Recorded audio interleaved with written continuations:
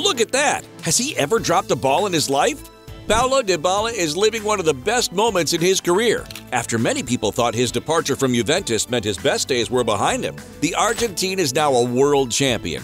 And while he leads Roma's European dream, we ask ourselves, what the heaven happened to Dybala? Bittersweet goodbye. The love story that united Juventus and Paulo Dybala came to an end in 2022, when the Argentine left the old lady and burst into tears during his farewell game.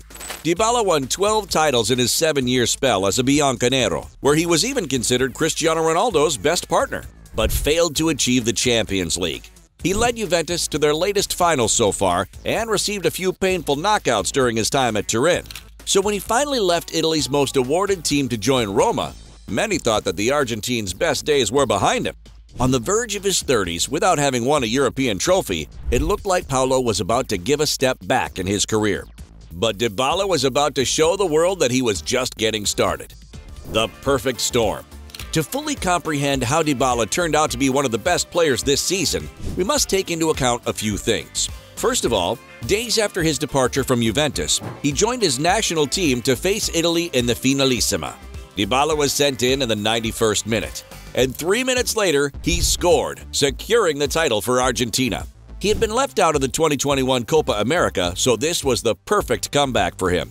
His performance boosted him up, and upon his return to Italy, he met with his new coach, Jose Mourinho. The Portuguese and the Argentinian instantly connected. As a matter of fact, the Argentine admitted that he joined Roma thanks to Mo's call. Before arriving, I'd already spoken on the phone with Jose. I liked his way of communicating and his way of being because of how he faces each training session and each game. That call convinced me of coming to Roma.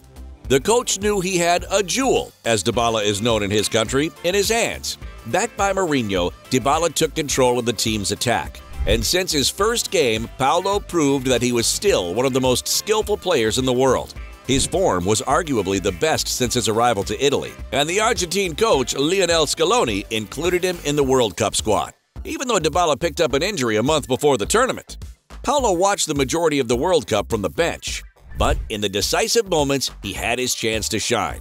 Paulo played in the last minutes of the semifinals against Croatia and again came from the bench in the final. And, as it happened in the Finalissima, three minutes were enough for him to play a key role, as he managed to steal the ball from Kylian Mbappe when the Frenchman was about to score the decisive goal. Dybala then had the tremendous responsibility of taking the second shot in the penalty shootout, right after Kingsley Coman failed his. He scored and returned to Italy as a world champion.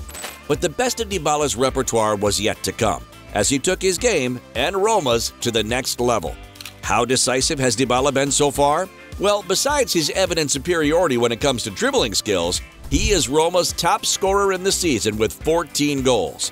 And he has the most assists as well. At the time of recording, he had provided 8 assists to his teammates. Roma keeps fighting for a Champions League position in the Serie A, while maintaining their hopes in the Europa League, where they will face Feyenoord for a place in the semifinals.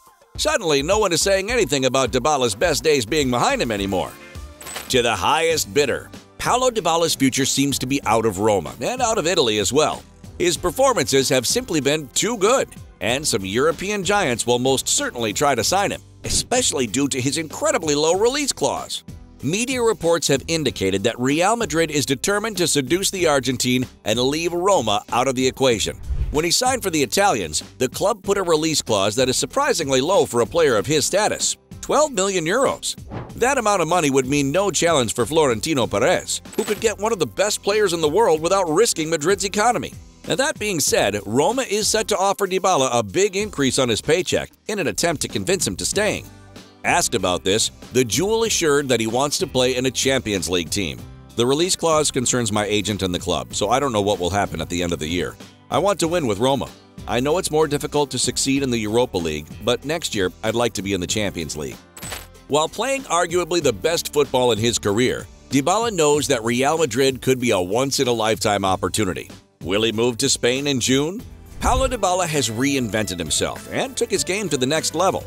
He is Roma's leader on the field and dreams of making history in Europe. Will he stay in Italy one more season? Let us know in the comments. Mourinho has helped Dybala to become his best self but he's far from being the only manager who turned a player into a world-class baller. Check out 10 managers that created absolute monsters. See you next time.